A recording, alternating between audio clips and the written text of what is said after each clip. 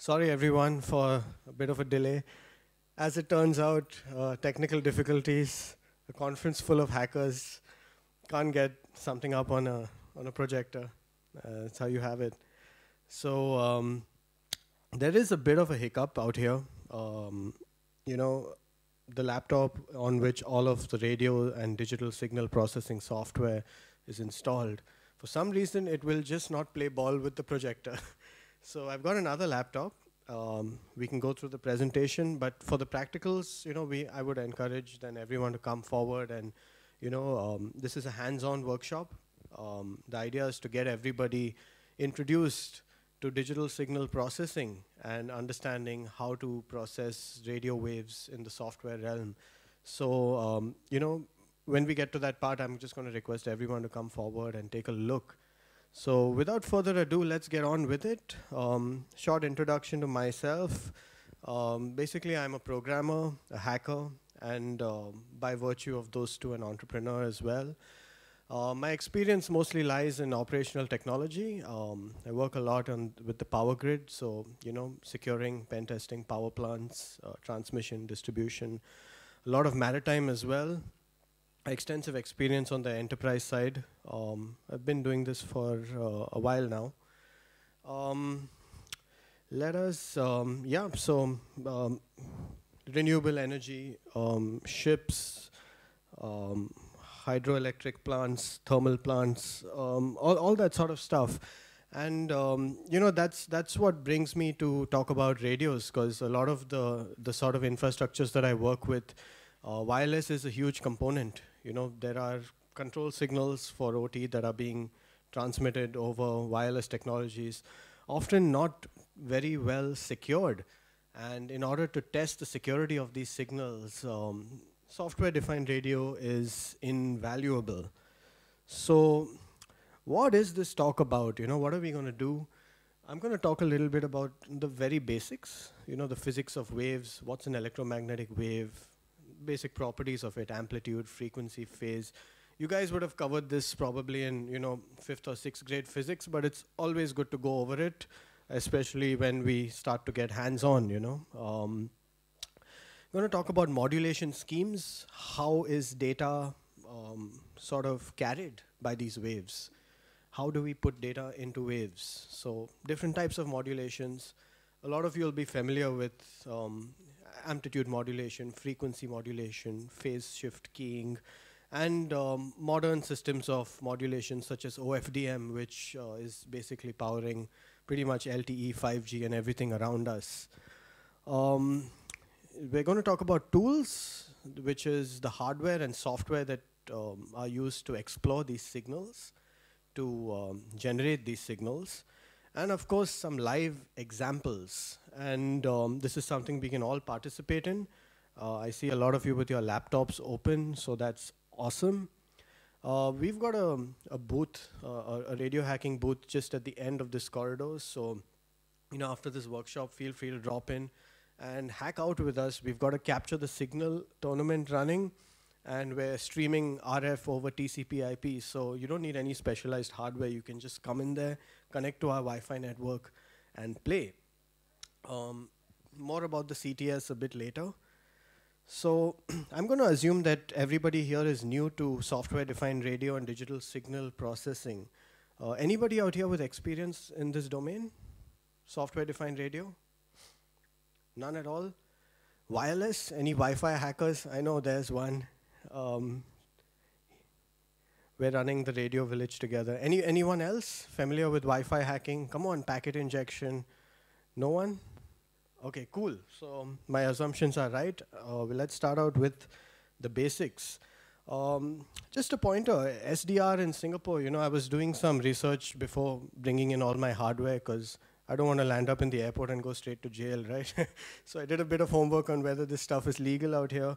And it turns out uh, that's the Minister of Defense and um, Singapore's using SDRs a lot for battlefield awareness. You know, building their own mesh networks and, um, you know, creating advanced situational awareness in warfare. So it, it, it's huge, you know, that as civilians we have access to technology which is at par with uh, military in a legal way. So Right. let's get back to the basics. What are we doing out here? What, what, what is RF transmission about? So basically, we're trying to send some information from one place to another without wires, right?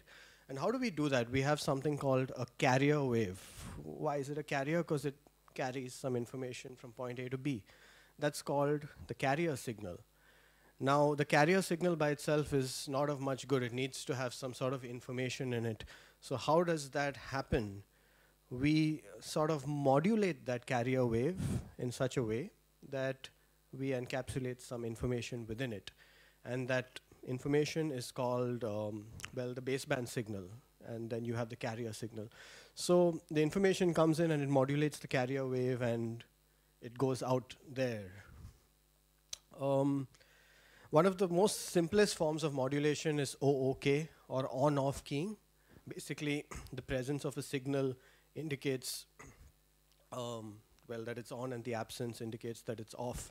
And the, the most simple form of on-off keying is, anyone? Yeah, can anyone read that? Come on. SINCON, yeah, absolutely. Not bad. Who said that? You said it. You said it. Okay. You guys can read Morse code straight off, or did you just read the number of characters and? Uh, yeah. All right. Hackers in the house, figuring stuff out. Um, awesome. That's that's pretty cool. So um, yeah, at, at the at the easy end of things, you've got on-off keying, where a signal on is a one, a signal off is a zero, and you can you know send binary strings across in that way. And at the high end of things, you've got OFDM, which is the orthogonal frequency, um, uh, where you know all the modern all the modern standards use it.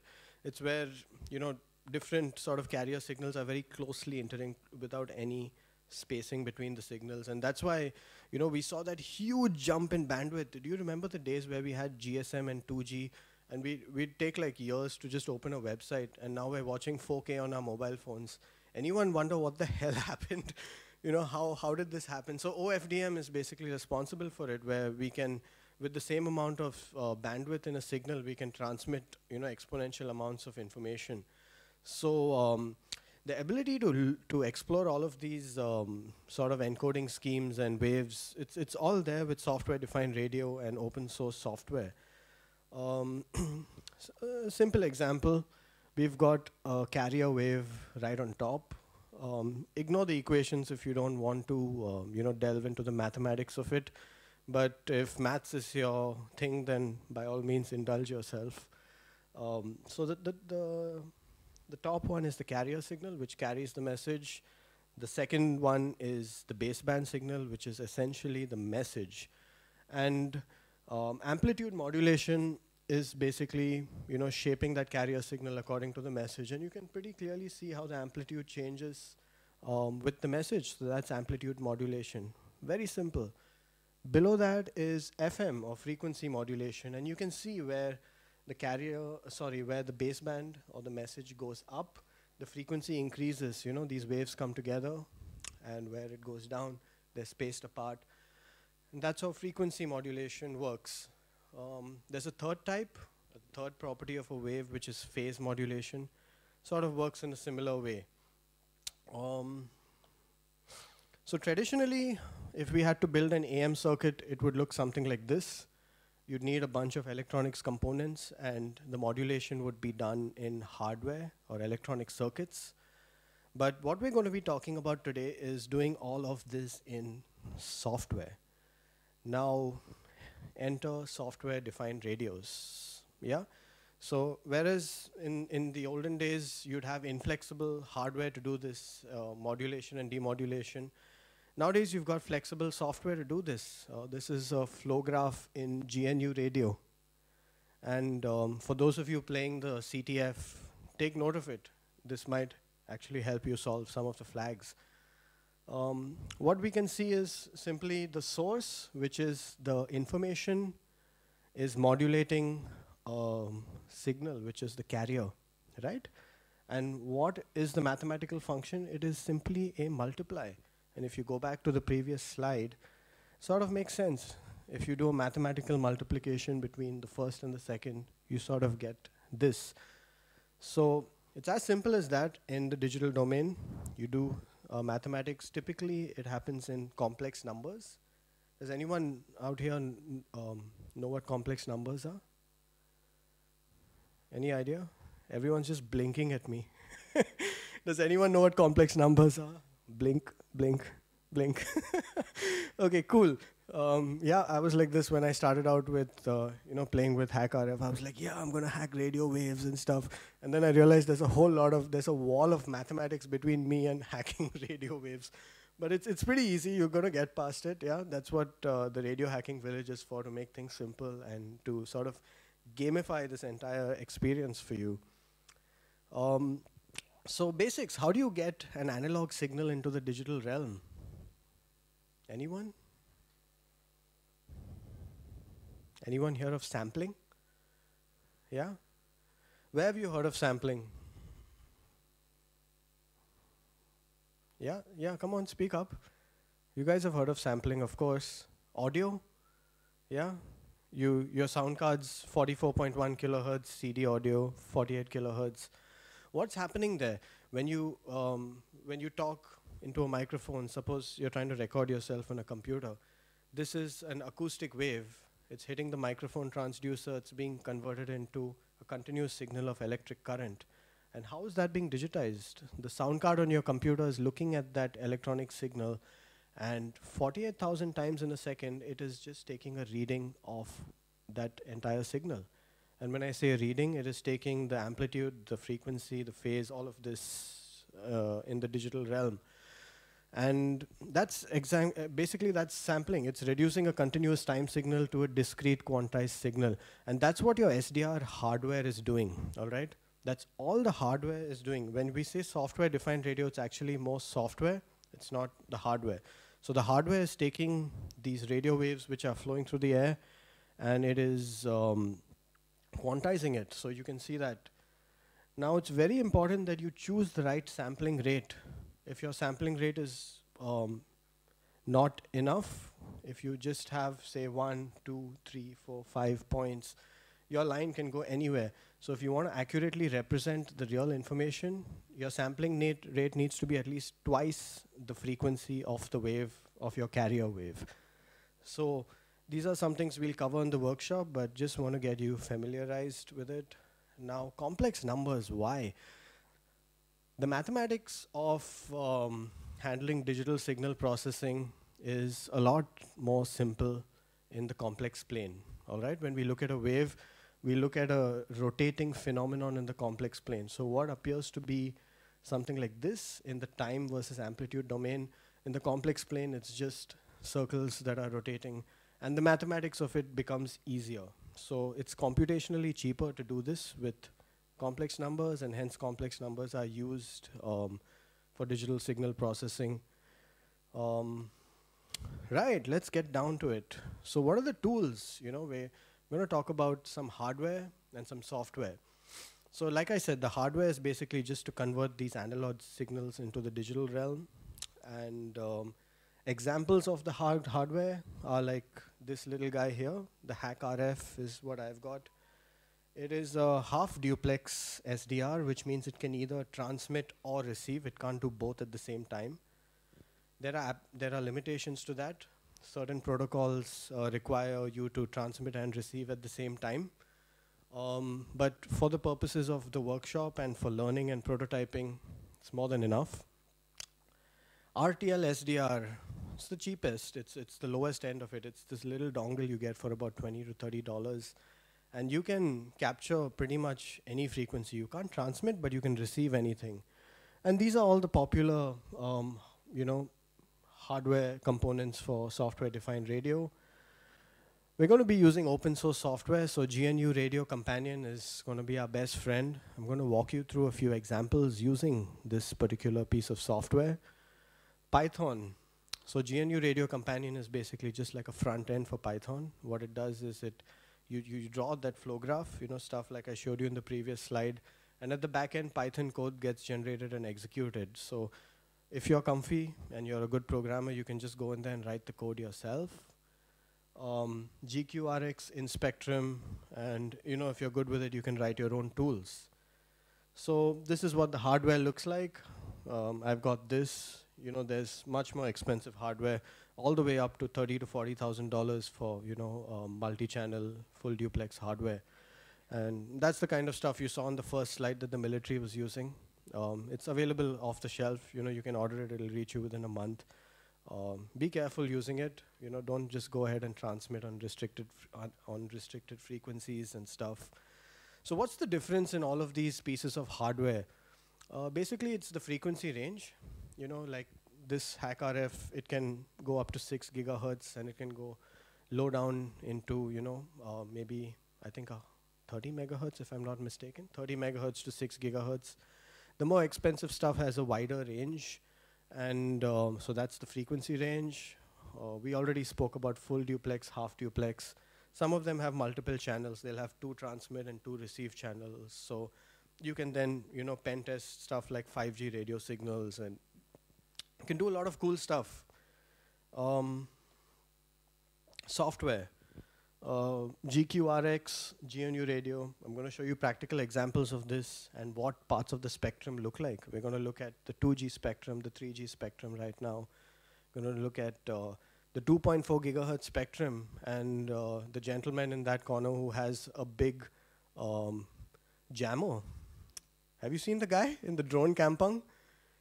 He's, he, he's got yeah, he's got a he's got a Yagi Uda antenna connected to a, a, jammer, and that just jams the entire 2.4 gigahertz range. Pretty pretty interesting stuff. Illegal, but interesting. All right, so you know, time for some practical stuff now. We're going to get our hands dirty, um, our paws dirty, and I may ask you to come up um, out here. But before that, let me just conclude with the presentation because once I ask everyone to come up or you know around the table, I can bring it to any one of the central tables. Um, I won't be coming back here, and this is because the display was not working on that laptop. So what are the advantages of uh, learning this, I would say, art of software-defined radio? Well, you can reverse engineer and test the security of pretty much all the layers of wireless communication.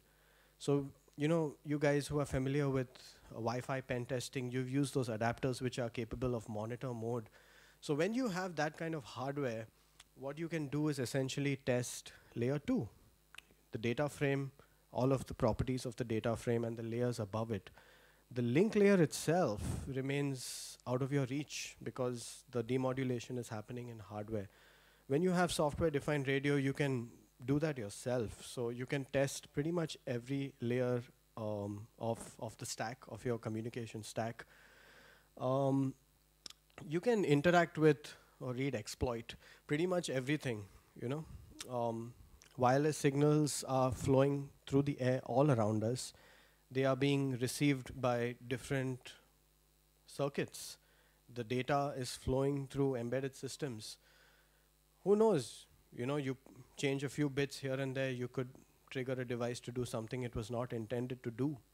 Um, in short, it enables you to test the security of pretty much uh, any sort of wireless system.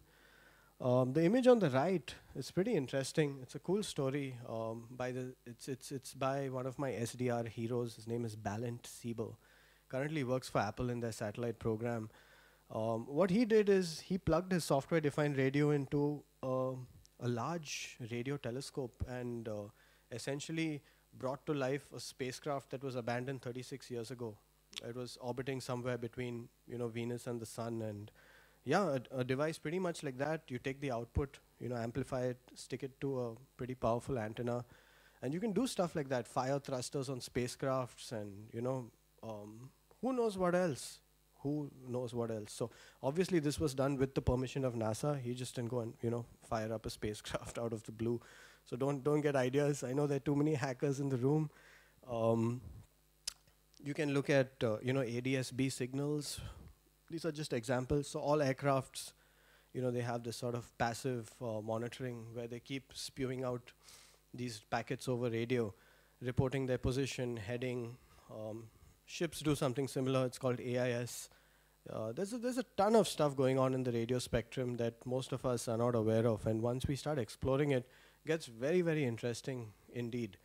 There's the whole ham radio scene as well. You know, if you're interested to communicate with people thousands of miles away on the other side of the earth, you can, you know, with the right antennas, and of course you need a license. Once you're licensed, you can operate on the ham frequencies. So a lot of cool stuff you can do with SDR. Can download data directly from weather satellites. All of this is legal. You just, you know, tune into the right frequency, write some Python, and uh, you've got it. So um, the CTS challenge out there is something that I would encourage all of you to come in and play. All right, it's very beginner friendly, and you know we are there to help you out. And it's the only way you can understand this by learning it the hard way, getting your hands dirty, trying, failing, trying again, failing, and eventually you'll figure it out. Uh, those of you who are smart programmers and hackers, you might just figure it out. There may be some of you out here who are better than us, so in that case, you know, please teach us, and you know, we're ready to, to learn. Um, we're going to be using common technologies, you know, FM, RDS, NTSC. These are things that we use in our day-to-day -day lives, but we don't really understand how these signals work. So the, the flags are hidden in these signals. Um, it's not necessarily difficult to solve. You can solve it by writing a demodulator yourself. Or alternatively, you could just bring a device like an FM radio nearby the, the antenna and you know, get the flag out. Who knows? There's a lot of interesting stuff in there. Um, there are some softwares that you would require, and I had requested everyone on the Discord channel to get a bootable Pentoo. Pentoo is a distribution of Linux that is preloaded with um, you know, the drivers and tools that are necessary for uh, exploring the wireless realm. Um, no specialized hardware is required. We're streaming everything over Wi-Fi and TCP, so super inclusive. Um, yeah, these are the different challenges. I won't go to I won't go into them too much now because they're quite dependent on what we do in the practical. Um, we've got some interesting stuff. Um, who's heard of a radio replay attack? Anyone? No?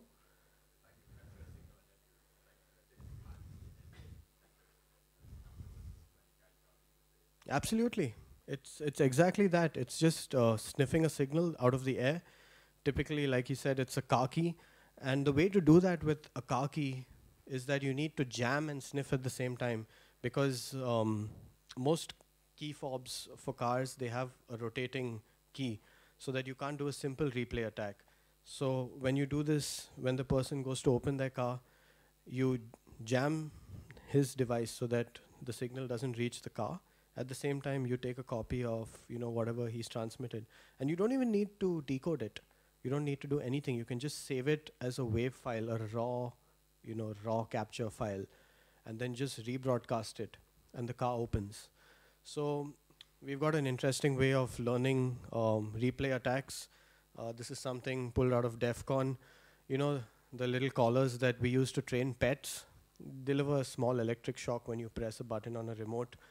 So yeah, it's, it's called the duel.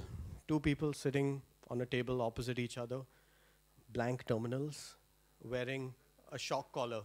Yeah. so you got to reverse engineer the signal, and the first person to shock the other person wins.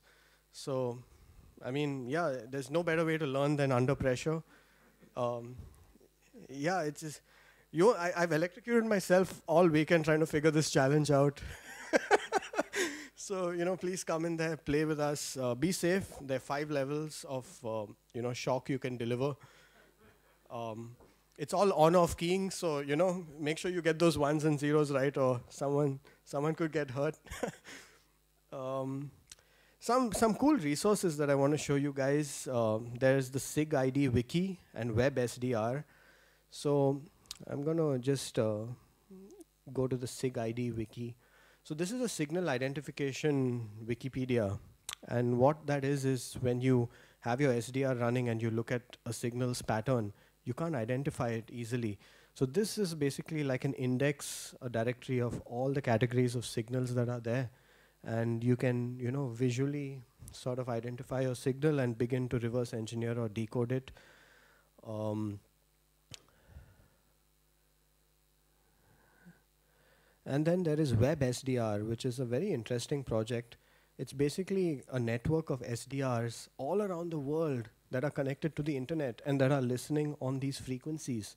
And you can tune into them over IP and uh, you know start to manipulate radio waves in different parts of the world. And if you so feel benevolent, you may connect your own SDR to this network and open it up to other people on the internet. Of course, put restrictions on the transmission, right? Because it's, it's illegal to transmit on certain frequencies. But um, yeah.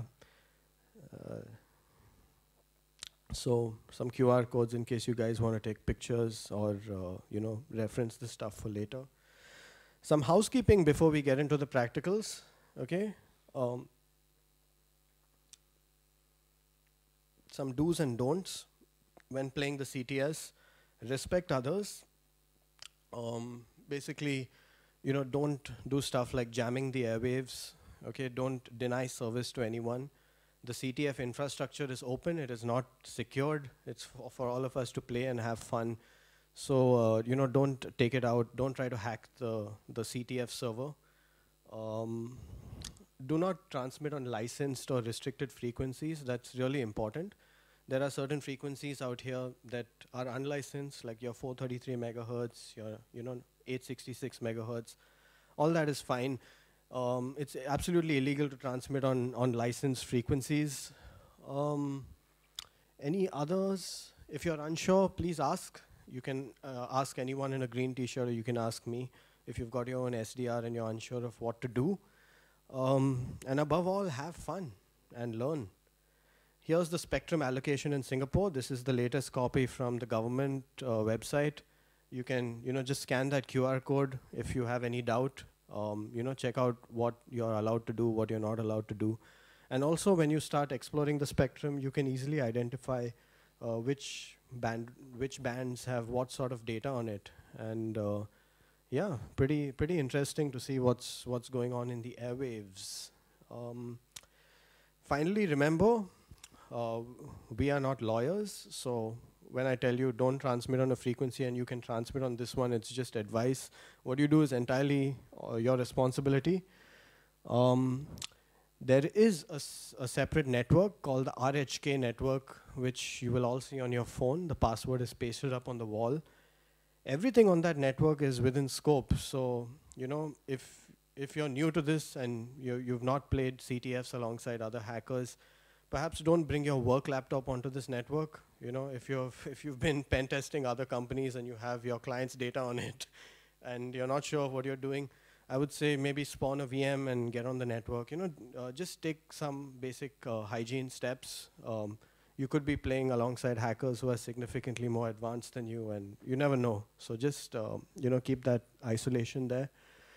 Um, yeah, please have fun. That's that's it. I think that's all. Thank you. And now for the practical part, since um, you know I can't connect my main laptop to the screen. I would encourage everyone to come forward. Which table should I use? Um, should I should I sit on a table where there are more people? That makes sense, right? Yeah. Which which table should I use? The center one? Yeah, out there. Okay, cool. Let me try one last time sticking this HDMI cable in, and let's cross our fingers. Uh, it's not going to work. Yep, it's not working. Okay, I'm coming there. I don't think I need the mic anymore, right? All right. Pulling up GQRX out here. And what, what this allows us to do is just, you know, look at the spectrum. And we're looking at, you know, 20 megahertz of the spec of a spectrum at the time. This is the FM band. So these are all of the radio stations within Singapore. We're not demodulating anything at the moment, but I think we could. If, if you guys want to hear something, let's.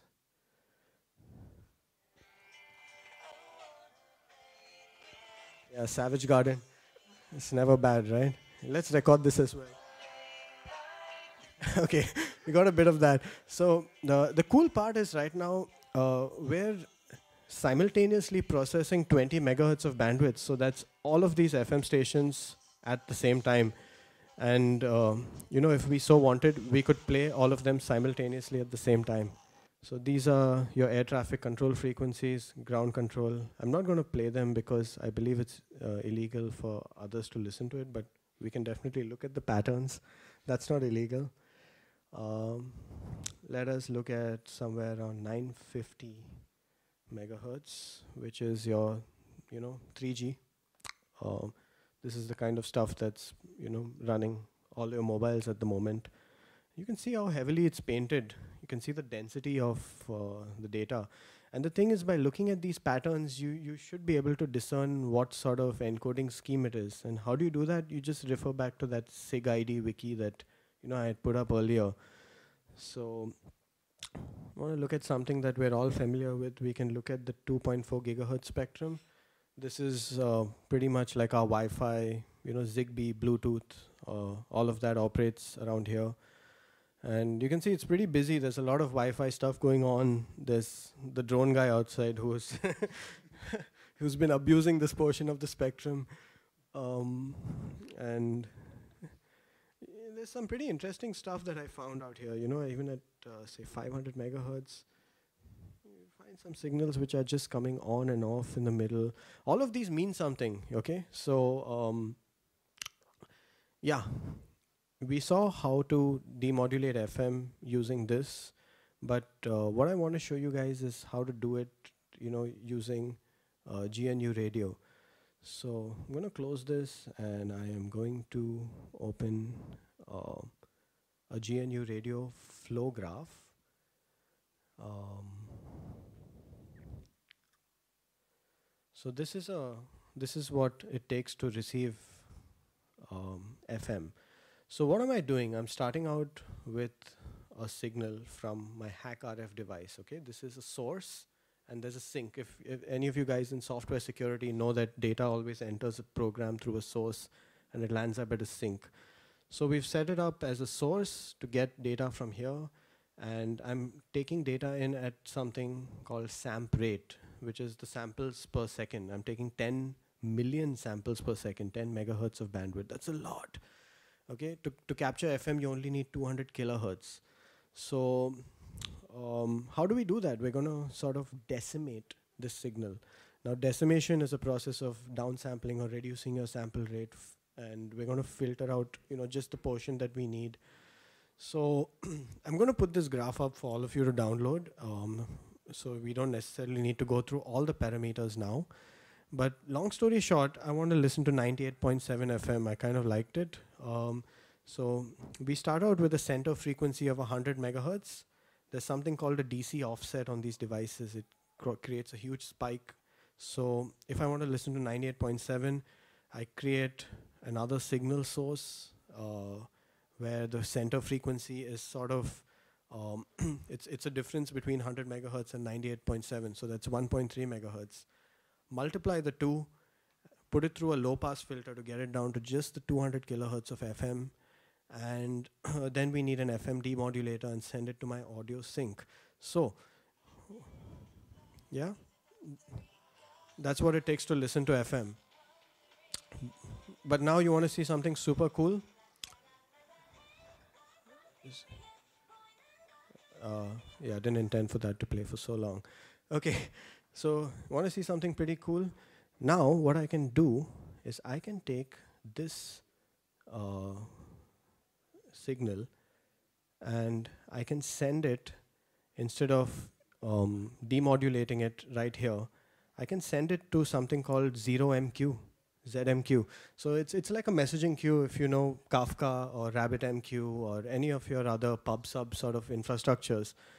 I'm going to send all of these raw samples over messaging queue to um, port 8000 and um, let's see I'm connected to um, the radio hacking network and my IP address is uh, 14.251 so 10.200.14.251 so once I start this graph any of you can actually just connect to 10.100.14.251 on port 8000 and I'm going to draw the remaining part of that flow graph where I actually um, have the source out here. So the source is now a messaging queue source. And what I'm going to do is I'm going to try and complete the remaining part of my flow graph by taking the messaging queue source and plugging it straight into my FM demodulator. So you all can do this as well. You can just stream the samples over TCP and run it and listen to FM. So what I could do is now stream the entire 20 megahertz of bandwidth and each one of you could receive that 20 megahertz bit, decimate it and filter it yourselves and each one of you could listen to a different radio station. So uh, this is the power of SDR. You can actually grab very large portions of the spectrum and you know process it later. And uh, what, what, what that means is, you know, even for stuff like signals intelligence and military, what they typically do is they just grab the whole spectrum for years and save it until encryption breaks. You know, someone pokes a hole in AES and they're like, "Ooh, you suddenly got 20 years of you know secret communications decrypted." So uh, it, it that that's why people are searching for quantum proof encryption and stuff nowadays. But anyway, SDR gives you the the ability to sort of uh, you know play around with all of this and and and pull stuff out of the air and test the security. And yeah, I've just shown you a very basic example of FM, but uh, pretty much everything out there is up for grabs. So head over to the Radio Hacking Village. You know, we'll we'll set you up with the CTS. It starts out with really really simple stuff. You know, we're doing some spectrum painting and all. You might have seen it on the big TV out there. Um, um, yeah, just come in, enjoy, have a good time, be safe, don't do anything illegal. yeah. Any any questions? Any questions, comments, any anything at all? Wow, that's scary. it, it, either means you've understood everything and you know it all better than me, uh, and or it means you've understood nothing, both of which are not good. Since we're past time, I'm going to conclude out here. Thank you all very much. If you have any questions, please head over to the Radio Hacking Village and uh, we'll take them there. Thank you.